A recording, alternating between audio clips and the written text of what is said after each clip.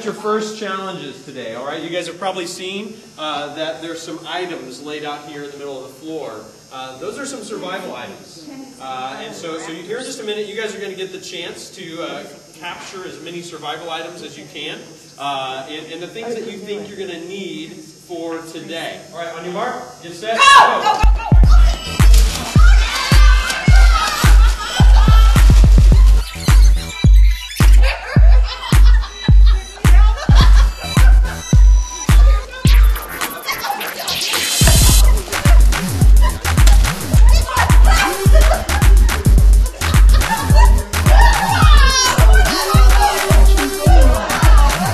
satisfied with what they got? No!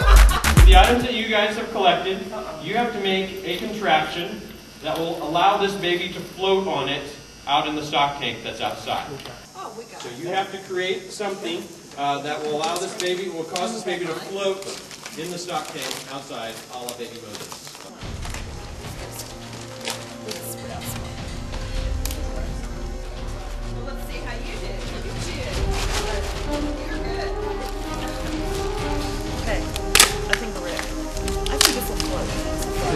Let's see. Yeah, I think it'll float. This, how is this little event kind of like life?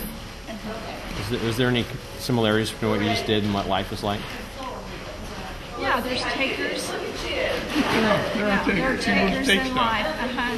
And then there are people who are gentle with other people who they hurt them. That's right. Right. And I think you were that way, Brad.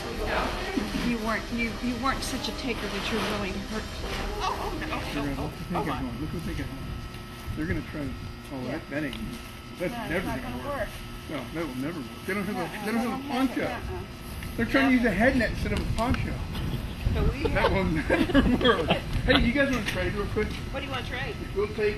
We'll take the jump rope for the poncho. No. Okay. Okay. But I will trade you one box of matches for the poncho. You'll go half a poncho for a box of matches. Let me see how size is the poncho. Don't you? I don't know if we really need the poncho. You don't know. You might have to get in there later. No, I don't think we need the poncho. Ooh. I think we'll regret this. not- We might regret it. Oh, I don't know. Let Oh, me see. Yeah. You want half? And you guys got three boxes of matches? But that's not going to help him float Oh, that sounds like a trade to me. That's like Here, a helping I'll tell you what I'll do. I is think I'll cut this in half, and then we'll, we'll take that box of matches. What do you think? Go with what we got? Uh, it's not going to help him float any. Okay. Put, put him in there. Oh, ooh, look here. Got it. Got it. Yeah! Oh yeah! Oh yeah! Let's Oh get, yeah! let's get on this. Let's see. Oh, oh. Whoops! Oh, Oh! Were there any frustrations in the challenge? Just that team.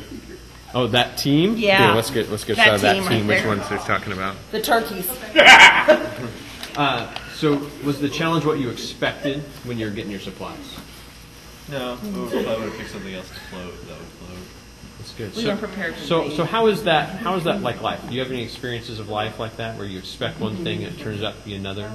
All I can think of is state for cross country. Like I was expecting to get all state, but then just came out. We missed it by 14 spots. It was really bad. But I was ranked like 18. I was expecting it, but it just didn't happen. So So how do you? So, Ruffy, how do you deal with that when you when life deals you something that is unexpected, it's not what you wanted? you just keep training, pray a lot, get over it, and then get ready for next year.